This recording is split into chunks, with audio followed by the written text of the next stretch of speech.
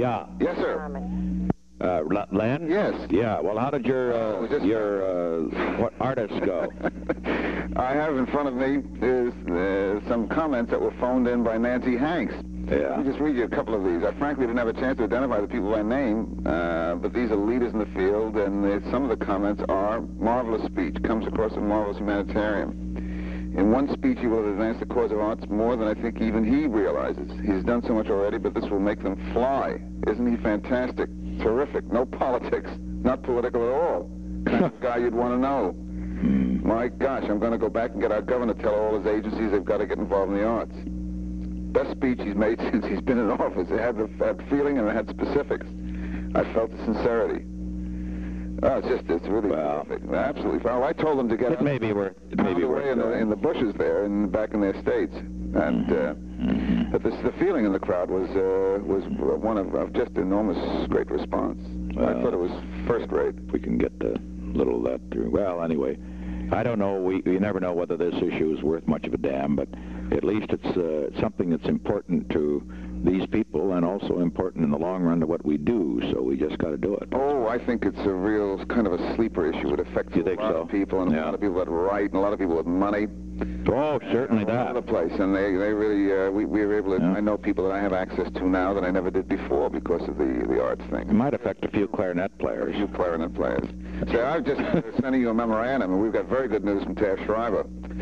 Got a commitment from uh, from uh, Sam Rothberg and another major Democrat in California to go out and hit the trail and raise five million dollars next year My gosh, that's something. for uh, the next time around, and that's related to, to, to well, I'll put it down in the memorandum. What we've done, what movies? We've done no, no, not movies. Oh yeah. Middle East, Oh yeah, I see. and this Mhm. comes in, you know, it's quite explicit. Uh, Yeah, right. And these are these are leading Democrats who are going to go out on. With, uh, Were you in San Clemente when we had that meeting with the movie people? Yes.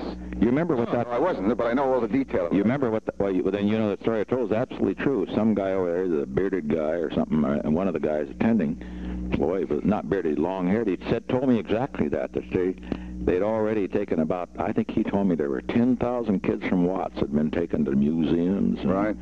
Musical con- thing, not musical, you know, uh, op, uh, I don't know what kind of music, but I didn't care. Well, it So is. that meant something to those people. They got that. You know.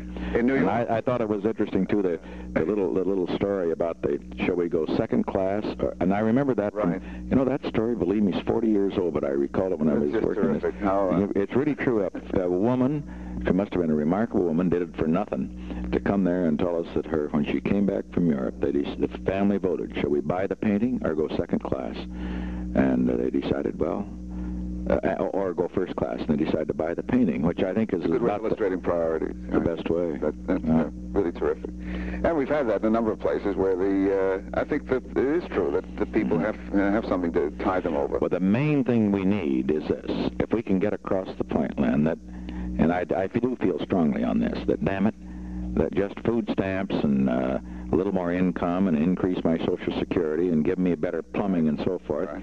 uh, is not all that is in life. That there's a hell of a lot of people in the world that don't have much, but who uh, well, there are a lot of people that have everything and have nothing, and there are a lot of people that have very little and have everything. That's really what Right. these people in the arts ought to be doing to tell people. In other words, a person who sits there, you know, in a hell, some of the greatest people in music, uh, they had to have angels later on, but they started from very poor families. That's right. And, You know. and when you said this is the kind of thing that you'd take them up on the mountaintop and give them some vision of what, what life is outside that right. miserable city. Otherwise, uh, God, they, they, uh, and otherwise, It's a they, marvelous passage, by the way. Yeah. You know that that improvisation when you lifted up and went into that whole thing, and it, you know how that really drew a, a, Mhm. a rifle Right. shot of applause. But uh, well, okay, well, I- main main thing is to tell Nancy to, to, to, Get out there to- no, no, tell her to tell her to get behind those beards and find out what those people are doing.